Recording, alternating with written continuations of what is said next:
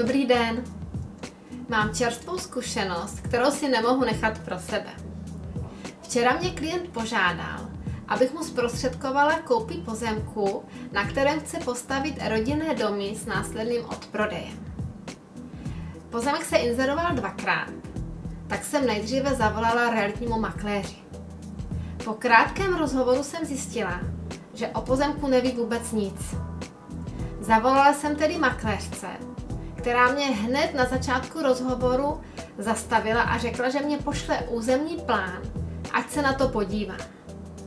Přeposlala jsem to klientovi, který projevil o prohlídku zájem a požádal mě, abych to domluvila. Zavolala jsem makléřce a po vzájemném představení rozhovor probíhal v tomto duchu.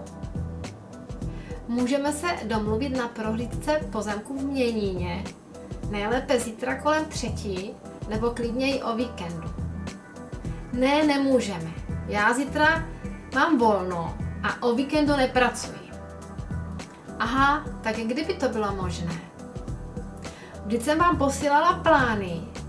Číslo parcelní XY, tak si tam s klientem zajďte sama. Já tam nepojedu. Já, aha, ale já asi nevím přesně, odkud kam se pozemek na, nachází, neznám jeho hranice. No to já taky ne, já jsem tam nikdy nebyla. Tam, aha, a kde jste vzala fotky? No já to mám ve spolupráci s makléřkou, která je na tom teď špatně, tak jsem to vzala za ní. Já říkám, no to, to jo, to je výborný. A ona by tam s námi teda mohla zajet aspoň na prohlídku. Ne, nemohla. Ona o tom taky nic neví. Říkám, dobře, tak mi aspoň řekněte, když eh, inzerujete, že se na pozemku dají postavit tři domy, jak tam bude vyřešena příjezdová cesta, jestli máte zjištěnou zastavitelnost procentuální, jak může být uh, velký dům, o jakých rozměrech. Nic z toho, na co se mě ptáte, nevím. Navrhuji, abyste si nejdřív zašli na stavební úřad a potom teprve domluvíme prohlídku. A já, no ale klient by raději, než začne lítat po úřadech, ten pozemek nejdřív viděl. Můžeme se tam potkat. No tak teda v pondělí. Ale musíte mě tam odvést, já nemám auto. No tak to jsem byla už teda pěkně naštvaná. A aby toho nebylo málo, tak jsem se ještě zeptala na provizi. A ona mě řekla, no tak jestli se s námi chcete dělit, no tak budeme muset klientovi provizi navýšit.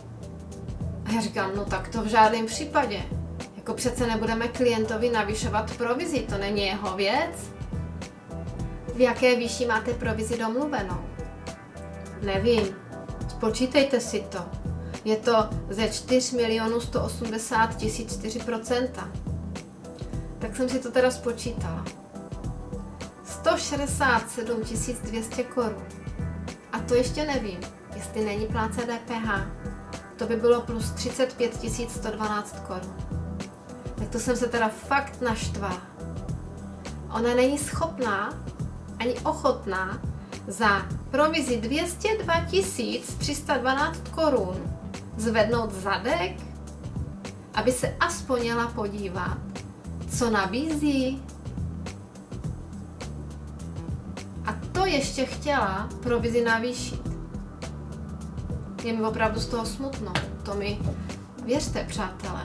Protože jestli toto dnes a denně zažívají kupující, tak se vůbec nedivím, že realitky mají tak špatnou pověst, jakou mají. Závěrem. Za prvé, napadlo mě, že kdyby měl klient o pozemek vážný zájem, tak se na milou makléřku nakrásně vykašlu a domluvím se s prodávajícími sama.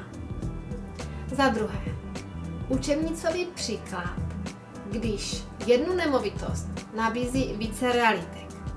Ani jedna nemá s prodávajícími podepsanou smlouvu na prodej, takže žádný jistý zisk a podle toho to taky tak vypadá, že? To je samozřejmě neomlouvá. Bez smlouvy vůbec nemusí pracovat. A v tomto případě by to bylo jistě nejlepší. A za třetí, žádný realitní zákon nepomůže v tom, aby svoji profesi vykonávali pouze profesionálové. A o čem bude realitní zákon, na to se můžete těšit v dalším videu. A bude to humorné, přátelé. Zatím se mějte báječně. Ahoj!